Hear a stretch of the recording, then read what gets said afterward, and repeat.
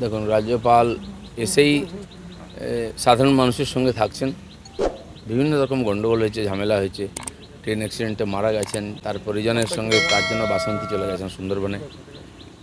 এখানে যারা ইফেক্টেড সবার সঙ্গে শুনেন কথা বলেন, খুব সেন্সিটিভ তো দরকার আছে, যে নিজের চোখে দেখার যে আইন শৃঙ্খলার অবস্থা কি হয়েছে, আর পশ্চিমবাংলার সাধারণ মানুষ কীরকম আছেন। সেজন্য তাকে আমি তো ধন্যবাদ জানাই যে এত অ্যাক্টিভ উনি প্রোঅ্যাক্টিভ সাধারণ মানুষ কমপক্ষে একটা লোককে পাশে পাবে।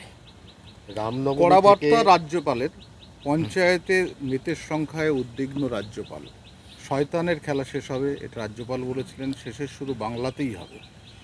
আমরাও সবাই উদ্বিগ্ন স্বাভাবিক এই ধরনের ঘটনা ঘটা পশ্চিমবাংলার ইমেজের পক্ষে ভালো নাই তিনি সিরিয়াসলি ব্যাপারটা নিয়ে দেখছেন ভাবছেন বলছেন কমসে কম বাকিও তো কেউ বলে না।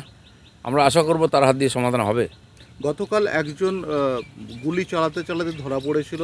তাকে আইএসএফ এর কর্মীরা তাড়া করতে সে পড়ে যায় মাঠের মধ্যে। সে স্বীকার করে যে পাঁচ হাজার টাকা নিয়ে সে এসেছিল এবং শওকাত মোল্লা পাঠিয়েছিল তাকে এগারো রাউন্ড গুলি দিয়ে। গুলি যখন শেষ হয়ে যায়, তখন সে পালাতে শুরু করে। দেখুন, এগুলো নিয়ে অনেক কথাবার্তা চলছে। বারবার আমরা বলছি যে টিএমসি পার্টির তরফ থেকেই এই গণ্ডগোলগুলো করানো হচ্ছে। এরকম বিশেষ করে মুসলিম এলাকাতে এই গণ্ডগোলটা বেশি। যতগুলো মুসলিম বেল্ট, সব জায়গায় গণ্ডগোল দুর্ভাগ্যের বিষয়, মুসলিম সমাজকে আর এসব যুদ্ধে বড় হিসাবে ইউজ করা হচ্ছে। তাদের হাতে বোম বন্দুক তুলে দেওয়া হচ্ছে। মরছে ওরা, মারছে ওরা। যত মারা যাচ্ছেন সব মুসলিম। যারা ঘায়েল হচ্ছে বা যারা দোষী সাব্যস্ত তারাও মুসলিম। আজকে মুসলিম সমাজে যারা নেতৃত্ব করছেন, তাদের ভাবার দরকার তাদের সমাজের লোকেদেরকে গরিব মানুষদেরকে কি রাজনীতির বড়ে করে রাখবেন না তাদেরকে মানুষ করার সুযোগ দেবেন? গতকাল যখন বোমগুলিতে জ্বলছে পশ্চিমবাংলার বিভিন্ন জায়গা মানুষের মৃত্যু হচ্ছে আহত হচ্ছে সেই সময় মমতা বন্দ্যোপাধ্যায় বলছে তৃণমূল দলটাকে একটা মাস পার্টি করবেন মাস পার্টি তো হয়ে গেছে। চোর ডাকাত গুন্ডা বদমাস গ্যাঁটকাটা পকেটমার রেপিস্ট খুনি সবই টিএমসির মধ্যে এসে গেছে। আর কত মাসে যাবেন?